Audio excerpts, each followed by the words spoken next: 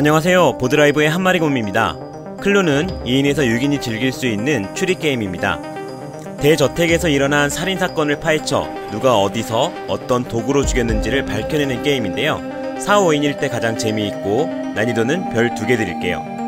세팅하겠습니다. 게임판을 가운데 두고 6개의 말과 6개의 도구 토큰을 가운데 올려놓으세요. 5인 이하의 사람이 게임할 때도 말은 6개를 모두 준비하세요.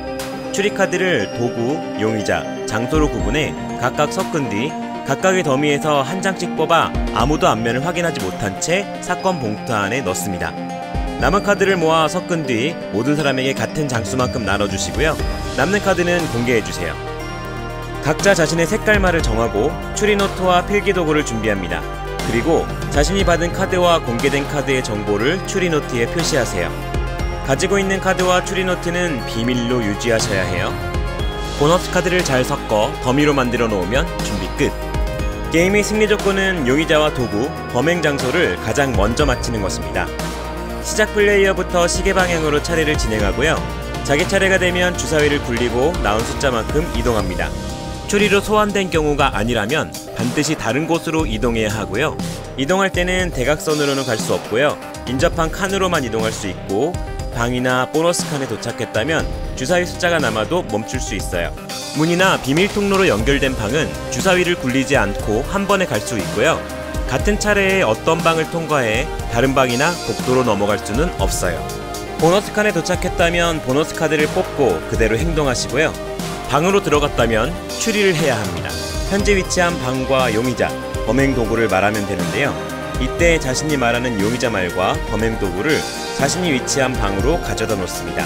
이제 다른 사람들은 시계 방향으로 돌아가면서 그 사람의 추리가 틀렸는지 아닌지를 말해줘야 하는데요. 방금 말한 세 가지 중 가지고 있는 카드가 있다면 그 카드를 그 사람에게만 보여주는 것으로 추리가 틀렸음을 증명하고요. 가지고 있지 않다면 증명할 수 없다고 말한 뒤 다음 사람에게 넘어갑니다. 두 장 이상 가지고 있다면 한 장만 보여줘도 돼요. 이렇게 해서 찾아낸 단서를 추리 노트에 기록하고 차례를 마치는데요.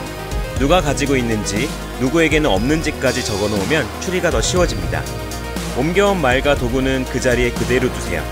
다른 플레이어의 말이었다면 그 사람은 다음 턴에 그 방에서부터 시작하며 그 방에서 바로 추리를 할 수도 있어요. 게임 중에 정답을 알았다고 확신하면 게임판 중앙으로 이동해 추리 결과를 발표합니다. 그리고 혼자만 볼 수 있도록 사건 봉투의 카드들을 확인하는데요. 정답이 맞았다면 즉시 승리하고 틀렸다면 탈락합니다.